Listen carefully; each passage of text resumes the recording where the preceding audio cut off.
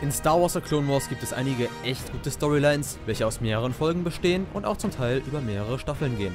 Hier in dieser Liste stelle ich euch jetzt die meiner Meinung nach 10 besten vor. Viel Spaß!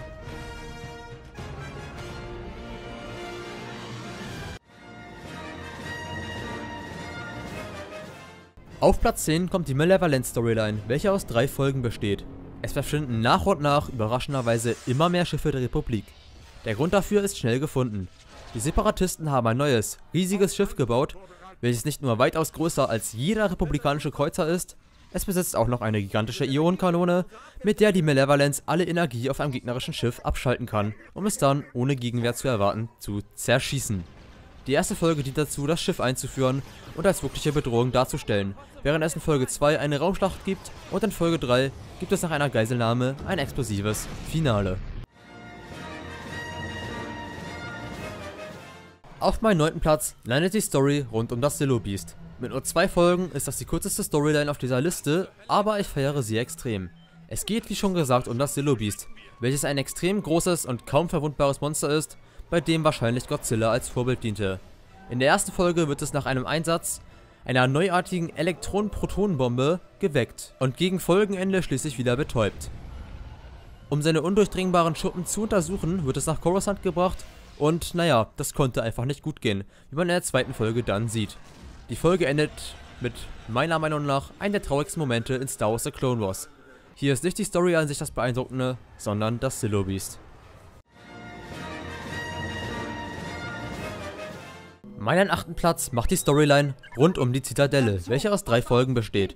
Die Zitadelle ist ein Gefängnis, welches extra für Jedi entworfen wurde und aus dem noch niemand entkommen ist. Zu einem Übel ist Jedi-Meister Even Peel dort nun gefangen. Die Jedi starten, angeführt von Obi-Wan, Anakin und Ahsoka, eine Befreiungsaktion, bei dem auch Kampfdruiden auf der Seite unserer Helden sind. Nachdem sie Peel befreit haben, wird das Ganze aber erst richtig spannend, denn die Flucht aus diesem Gefängnis ist fast unmöglich. Zusätzlich möchte ich hier auch noch erwähnen, dass man hier Tarkin, welcher später ein Großmacht des Imperiums wird, in der Clone Wars zu sehen bekommt.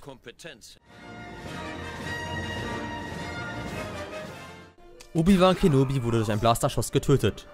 Zumindest glauben das alle. Denn das alles war nur ein Trick von Mace Windu, Yoda und Obi-Wan, um einen möglichen Attentat auf den obersten Kanzler zu verhindern. Denn Obi-Wan gibt sich als sein eigener Mörder, den Kopfgeldjäger Reiko Hardin aus und lässt sich im Gefängnis der Republik einsperren. Mit Hilfe von Moralo, Revel und Cat Bane bricht er aus und flieht. Anakin Skywalker weiß nicht, dass Kenobi noch lebt und macht sich auf die Jagd nach Obi-Wans angeblichen Mörder, unwissend, dass es sich dabei um seinen eigenen Meister handelt. Das Ganze finde ich recht genial und dabei entsteht auch die ein oder andere coole Situation, wo Anakin die Kopfgeldjäger tatsächlich einholt und in den Kampf mit Obi-Wan gerät. Die drei Kopfgeldjäger können allerdings zu Count Dooku entkommen, wo mit Hilfe der Box, welche eine Art Kompetenztest mit tödlichen Folgen im Falle des Scheiterns ist, die besten Kopfgeldjäger der Galaxis ausgewählt werden, um Dookus Plan, den obersten Kanzler zu entführen, auszuführen. Das Ganze soll auf einer Feier auf Naboo geschehen. Doch wird Obi-Wan, welcher immer noch verkleidet unter den Kopfgeldjägern ist, dies verhindern können oder nicht?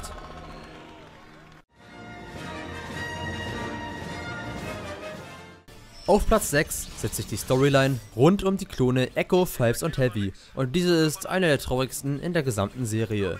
Alle drei beginnen als Klonkadetten zusammen auf Camino und werden nach anfänglichen Problemen in die Armee aufgenommen, was zu einem Großteil auch 99, einem Wartungsklon, zu verdanken ist. Als Klonsoldaten verteidigen sie gemeinsam mit Rex und Cody einen Außenposten der Republik gegen die Druidenarmee. Heavy opfert sich hier, indem er eine Bombe zündet, um die von Druiden besetzte Basis zu zerstören, damit die Republik von dem Angriff erfährt. Feist und Echo werden in späteren Folgen zurück nach Camino beordert, wo sie ihre Heimat gegen die Kampfdruiden verteidigen. Leider kommt 99 bei dieser Schlacht ums Leben. Die beiden werden in den Rang eines Arc-Soldaten berufen und kämpfen fortan in der 501. unter Jedi-General Anakin Skywalker. Doch leider kommt Echo während der schon erwähnten Zitadellen-Storyline ums Leben. Fives ist noch in weiteren Folgen an der Seite von Rex und Anakin zu sehen und wird zu einem erfahrenen Soldaten.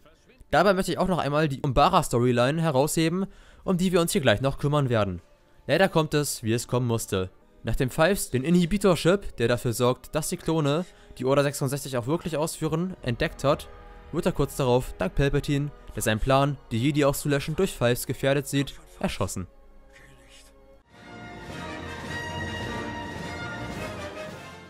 Auf meinem fünften Platz landet die Mandalore Storyline. Hierbei geht es, wie eigentlich schon fast gesagt, um den Planeten Mandalore, welcher dank seiner Herzogin Satine neutral im Krieg und gegen Gewalt ist. Doch das gefällt nicht allen auf Mandalore. Die Deathwatch, eine organisierte Terrororganisation, welche mit Hilfe Count Dooku's Mandalore zurück zu seiner Vergangenheit führen wollte, denn früher war Mandalore bekannt für seine großen Krieger. Doch der Versuch der Machtübernahme scheiterte, so war die Deathwatch gezwungen zu fliehen. Währenddessen stellte sich auch heraus, dass Regierungsmitglieder komplett korrupt sind. Die Deathwatch kehren später in der Staffel zurück und können mit Hilfe der Pikes, der Hutten, der Schwarzen Sonne, Darth Maul und Savage Opress Mandalore tatsächlich erobern, wobei die zuletzt genannten so taten, als würden sie Mandalore angreifen und die Deathwatch spielte dann die großen Retter und brachte so das Volk, das eh nicht mehr komplett auf Herzogin Satins Seite war, hinter sich. So kam sie unter Pre Whistler tatsächlich an die Macht. Doch das sollte nicht lange so bleiben. Auf Platz 4 setzt sich die Umbara Storyline. Die Storyline rund um den Planeten Umbara ist für den Verlauf der Clone Wars Serie eher unwichtig. Und als ich der Clone Wars das erste Mal gesehen hatte, habe ich die ersten drei Folgen von dieser irgendwie verpasst. Als ich die Serie zum zweiten Mal guckte vor kurzem und auf diese Folgen stieß, war ich hin und weg. Um es kurz zu fassen, man sieht in diesen Folgen, wie die Republik den düsteren Planeten Umbara angreift und wenn ich düster sage, dann meine ich auch wirklich düster, denn es ist dort wirklich stockfinster. Man sieht das Ganze hier hauptsächlich aus der Sicht der Klone und diese Folgen edeln eigentlich eher Gefechtsszenen aus Unsere Mütter, unsere Väter.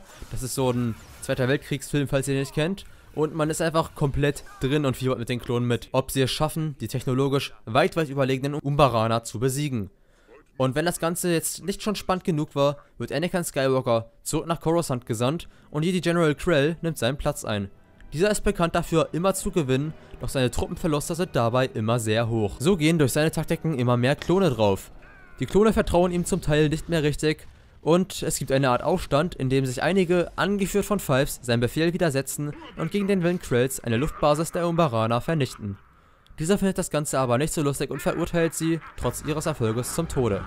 Als er dann auch noch plötzlich seine eigenen Soldaten aufeinander hetzt, verliert er das Vertrauen der Klone komplett und sie rebellieren gegen ihn. Und das, wie sich später auch herausstellt, zu Recht. Die Storyline auf einem dritten Platz ist die, welche wohl die größten Wellen geschlagen hat. Damit meine ich natürlich die Wiederbelebung Darth Mauls. Sein Bruder Savage Opress wurde von Ventress als Racheinstrument gegen Count Dooku, der sie verraten hatte, benutzt. Nachdem die Rache scheiterte, wurde er von Mutter Tarsin auf seinen Bruder Darth Maul aufmerksam gemacht. Er machte sich auf die Suche nach ihm und fand ihn tatsächlich. Irgendwie hat er die Zweiteilung durch Obi-Wan Kenobi überlebt. Nachdem Maul wieder bei Bewusstsein war, legte er natürlich sofort alle Hebel in Bewegung, um Rache an Kenobi zu üben. Daraus entstand das ein oder andere coole Lichtschwertduell, wie man auch in meinem Top 10 Lichtschwertduelle in Star Wars The Clone Wars Video sehen kann. Später taten sich die Brüder mit der Deathwatch der Schwarzen Sonne, den Pikes und dem Huttenclan zusammen. Sie eroberten, wie schon mal erwähnt, den Planeten Mandalore.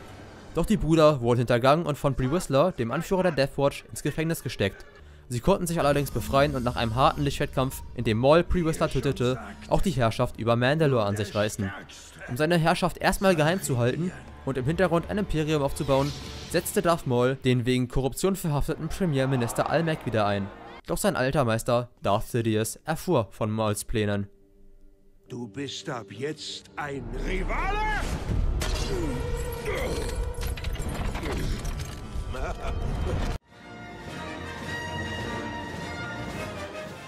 Die Storyline auf dem zweiten Platz besteht aus den drei letzten Star Wars The Clone Wars Folgen.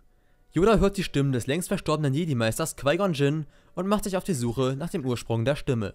Er landet schließlich nach einem kurzen Zwischenstopp auf Dagobah auf dem Planeten, auf dem die Macht ihren Ursprung hat. Dort werden ihm verschiedene Prüfungen gestellt, wo man unter anderem Yodas dunkle Seite und einen noch auf, noch auf der guten Seite stehenden Doku zu Gesicht bekommt. Schließlich besucht er als letzte Prüfung Morabat, dem Heimatplaneten der Sith, und trifft dort auf Trugbilder von Cypher Diaz und Darth Bane, dem Einführer der Regel der Zwei. Die Folge gipfelt in einem coolen Aufeinandertreffen zwischen ihm und Darth Sidious, welches aber nur eine Vision war. So endet Star Wars The Clone Wars, wie es angefangen hat, mit Meister Yoda.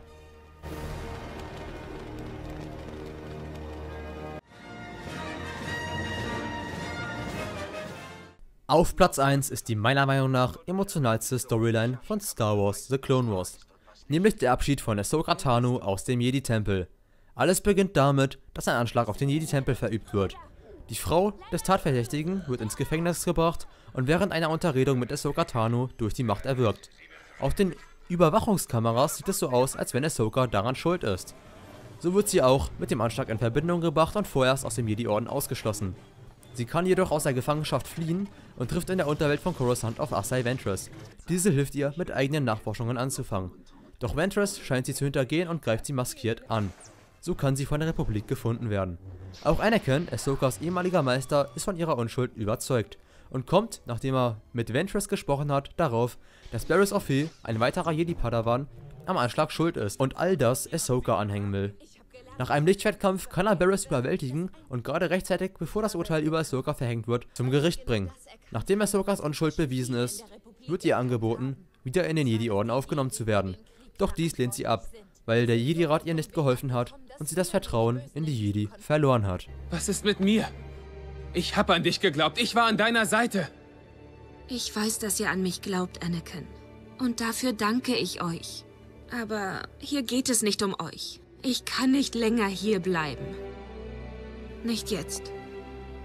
Der Jedi-Orden ist dein Leben. Du kannst es doch nicht einfach so wegwerfen. Ahsoka, du machst einen Fehler. Vielleicht. Aber ich muss mit mir ins Reine kommen. Ohne den Jedi-Rat. Und ohne euch. Ich verstehe dich. Sogar mehr als du denkst. Ich kann gut verstehen, wenn jemand den Orden verlassen möchte. Ich weiß.